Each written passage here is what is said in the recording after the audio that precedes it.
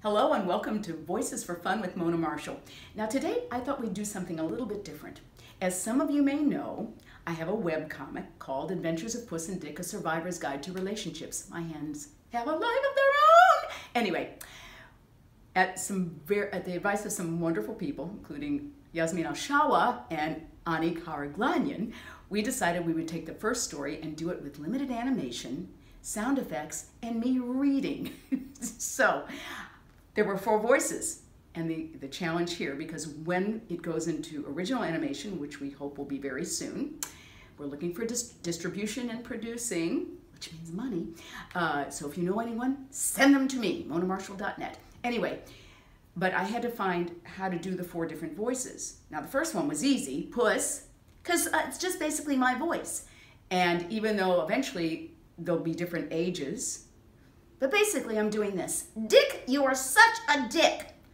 Then the question was, I had two males. One, well, not really.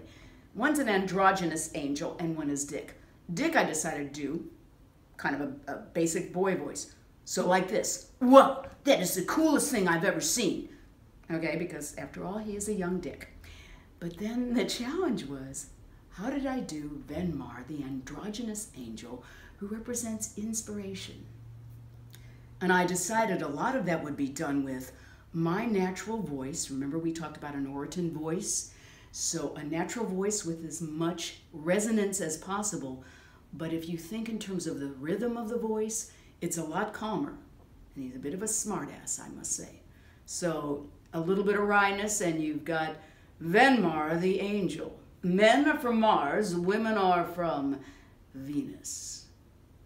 So those were the three voices. And then for the, the little wise ass bird who doesn't realize that he's dead, actually, that's Fido. And I decided I would kick him up here like this because he's kind of a little guy, you know, and uh, so kind of a, a little bit like the Doraemon. But if you notice what I'm using, it's that guttural voice, but it's pitched way up high and with lots of smile. So there you have it. Those are the four characters from Adventures of Puss and Dick. Tune in